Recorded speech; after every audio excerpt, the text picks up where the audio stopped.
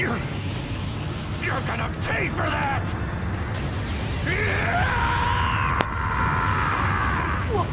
What?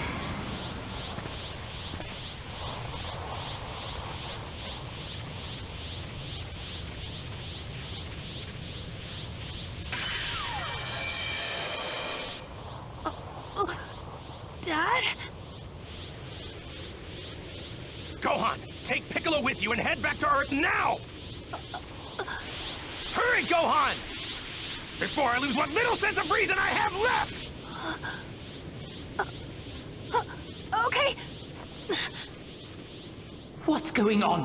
What's happened to him? No, it can't be! I, I think I know what's going on. My dad finally did it. He's become a Super Saiyan.